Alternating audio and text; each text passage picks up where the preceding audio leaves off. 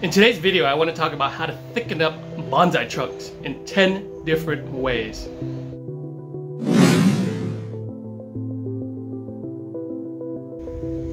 Okay, so let's talk about how to go from this tiny little skinny Zelkova to this guy in about three to four years. There's several different methods. And it's not by putting this little tree into a bonsai pot. Okay, I know I'm oversimplifying this, but the first thing you want to do about growing a large trunk on your bonsai is keeping the tree healthy. So learn the horticultural side of keeping bonsai and learn about the different species of plants that are used in bonsai so that you know when to cut, when to feed them, when to water them, if you learn all this and keep the tree healthy, they will continue to grow, add foliage to the top, and in return, grow a larger trunk. So if you have an unhealthy tree, it'll be stunted and it won't grow. Seems simple, but that's the number one thing to do first. Keep your tree healthy.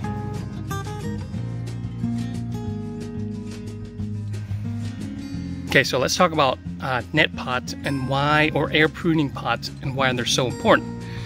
Um, now in a regular pot like this, the roots do not ramify, they do not um, air prune, and they tend to get root bound and wrap and grow thick and long and wrap around the pot. Um, and in pots like this, what happens, or the net pot, is that the tips of the roots will get air pruned and then it divides and then it multiplies until you get this huge mesh of roots. That mesh of roots are the type of roots called feeder roots. So those feeder roots will actually add to the health of the tree. You can see these feeder roots are here that have died up at the surface. Those feeder roots will add to the health of the tree and uh, let it be able to uptake all the nutrients, minerals, and water that it needs to sustain healthy growth. So this in combination with all the dense foliage that you can grow on the tree will help to thicken up the trunk.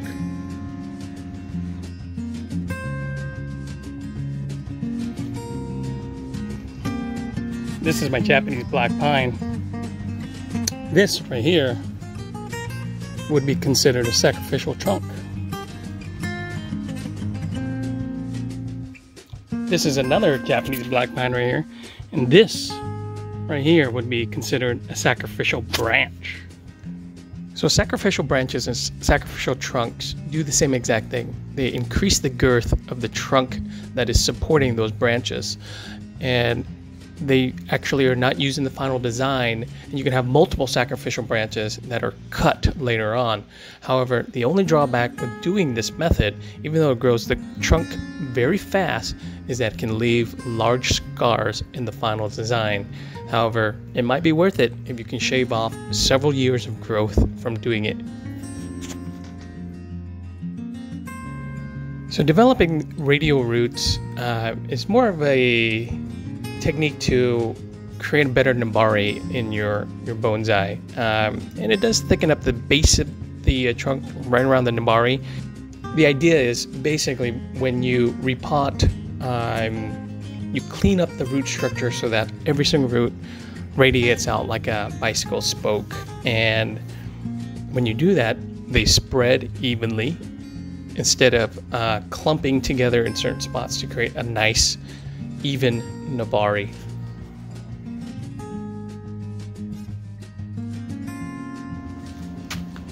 In this method, um, I'm just going to show you as a demo here, obviously, what you can do to get um, your Nebari to kind of spread and grow horizontally versus down is, let's say you were to bury this little tiny maple right here, it's a vine maple. You know, you take it out of the pot, you bury this into the ground by um, I don't know, four or five inches or whatever. And um, take the tree, you put it onto this, could be a slate. I have a piece of board here, but ideally probably like a tile or something.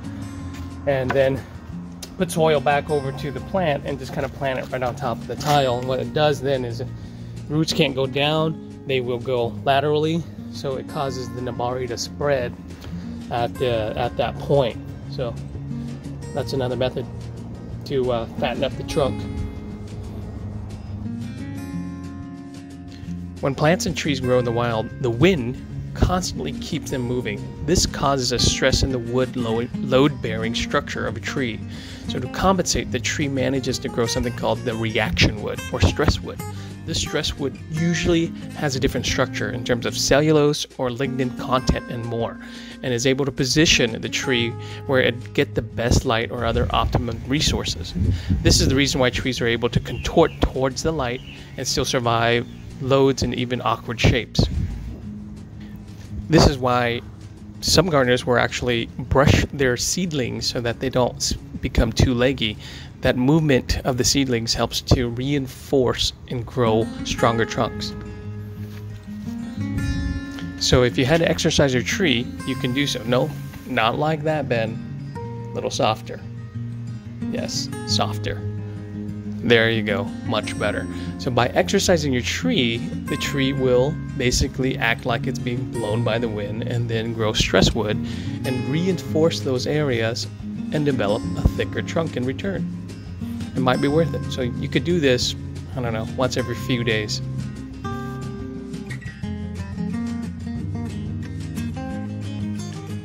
Let's talk about scarring as a method of um,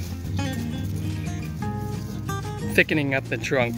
So this is a large cut that was done on my Zelkova. And you can see how the growth, the scar, has created a very kind of bulbous, very undesirable uh, feature to the tree that I actually need to fix and carve out.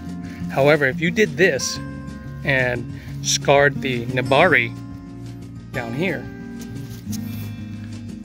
let's say you made a big cut and then it scarred and healed over, um, and did it in a proper way, what would happen then is that bulbous growth or the scarring will add to the base of the, the Nebari and, and give you kind of um, a quick way of increasing the size of that trunk.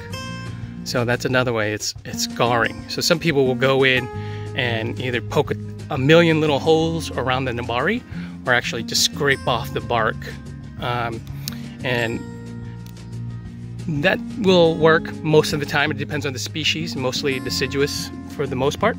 But um, that's another way, is scarring the trunk will create um, more growth and I guess bulbous scars around the, uh, the area that you cut.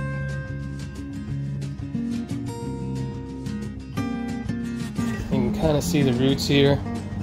You know, it's kind of wild, rangy. Actually, this would be a good candidate for root over rock. May do that.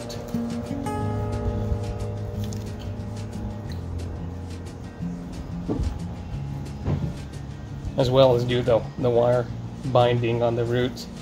I don't want to break any roots right now, I just want to loosen it up so that I have room to play with. And all I'm going to do is just take this 2 millimeter wire and create a, a tourniquet around this big giant taproot so that I can restrict the flow um, on this tree. So I'm going to restrict the flow um, on this tree. I'm going to wrap this around twice, nice and tight. Hands probably blocking the view and then um, twist it up. Okay, I got my pliers. Wrap it around here.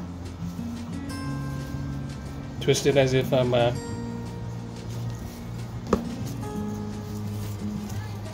tying in a tree to a pot.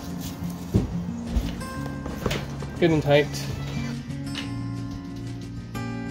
By doing this method, the area above the tourniquet will begin to swell and flare out. So it is a good idea to do this right around the nebari because that is the part where you want to be the widest. Here's a lesser known method of thickening the trunk. It is to use silica as a supplement. Silica actually alleviates stress in the plant and helps to lignify and fortify cell walls. You can look at the two plants here. One has silica, one was grown without it, and you can see the difference in size. Uh, all this was actually done in research by Professor Lawrence Datnoff He's the head of plant pathology and crop physiology at Louisiana State University. So before I even got into bonsai, about uh, three to four years ago, I, I got uh, a Zelkova from Arbor Day, and um, it was one of those free trees that they give you if you bought like fruit trees and other things like that. And I didn't know what to do with, it, with the uh, the tree, so I kept it in a one gallon pot just like this. Uh, I left it uh, basically next to my garden beds, and for about three to four years, uh, it grew. It started to grow, and it started to root outside of the pot into the ground. I didn't realize that was happening, and um, it became this in about uh, a little over three years. Um, so this is a nice, big, thick, powerful trunk with a big Nebari here at the bottom. I didn't realize I was growing a uh, you know future bonsai when I was doing it, so um, it was pretty cool to see this. I did a lot of research, um, watch a lot of different things, talk to a lot of different people.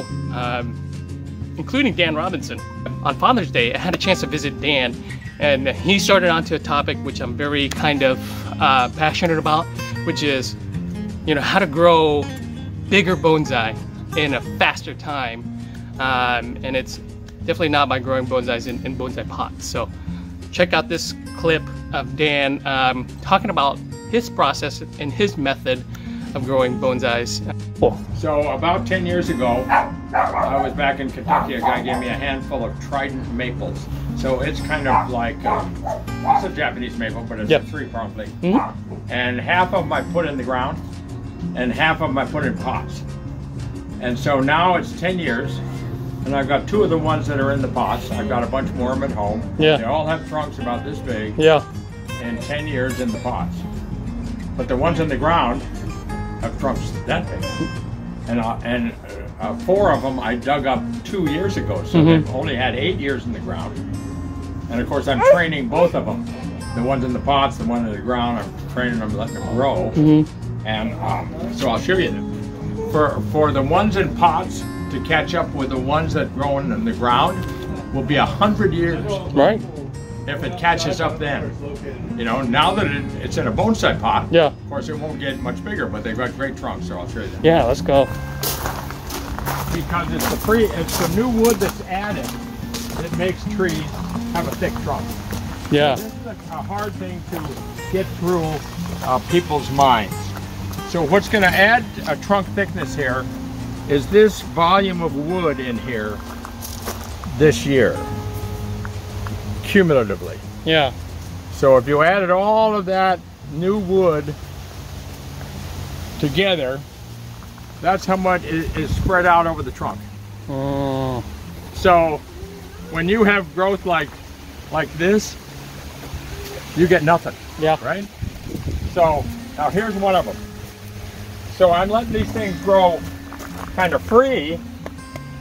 And this is two years growth but it's only added this much thickness. Okay? Yeah. So in 10 years, that's what I've got, which isn't bad. Yeah. And this is what people all get because they put little trees in pots. Yeah. And they keep them pruned. And when you prune it, it stops it from getting bigger, thicker. Another one is back um, here. You can see it back there in the back. yeah, great curves on that tree. Okay? Yeah. And you can see how much growth there is up there on that top. How old is this tree, Dan? Uh, 10 years. Wow. Yeah. You know, so hey, pretty nice, right? Yeah. I mean, here's the new top right here, you know. So it's all, you know, part of the plan. But this is what you get. Which again, from a bonsai standpoint, oh, hey, fabulous, yeah, right? Looks great, yeah. But I'll show you what's fabulous. Okay.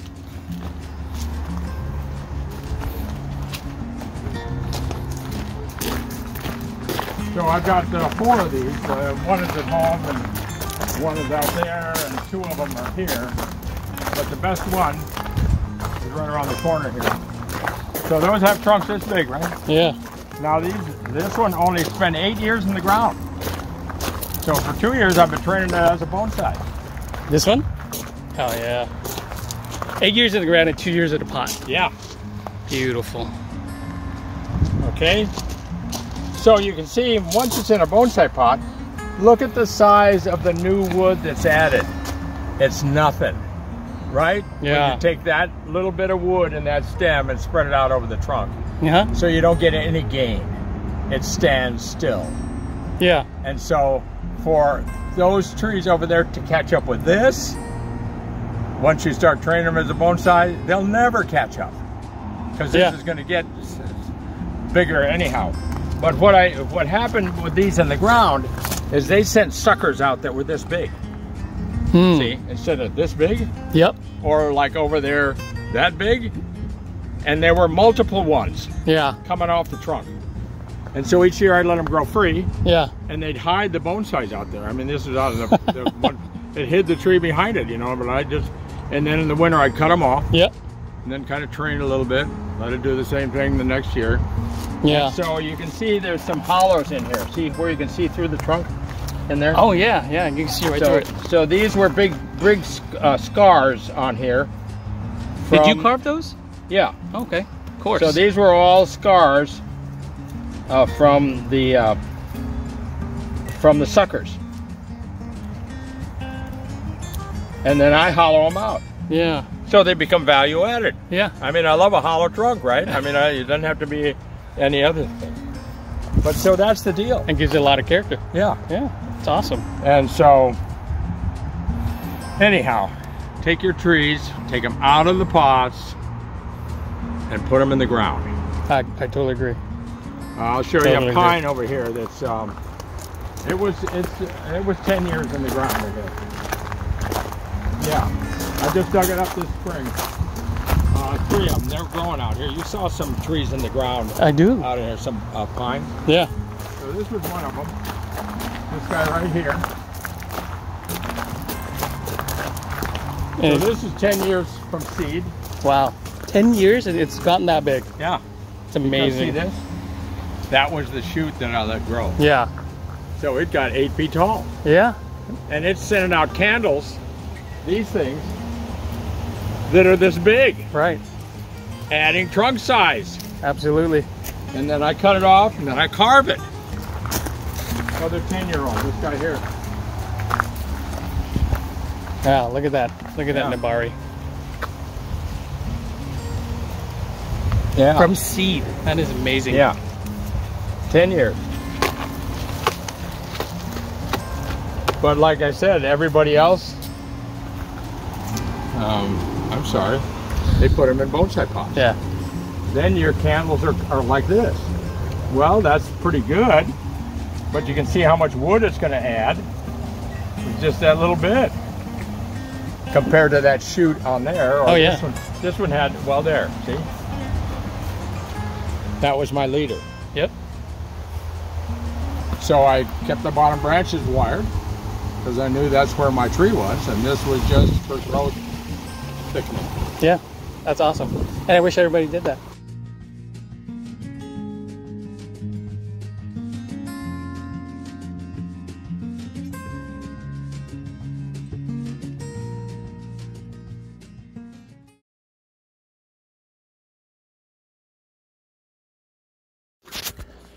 Thank you for so much for watching. Don't forget to like and subscribe. I really do appreciate it. Take care of yourself. Until the next time. Bye bye.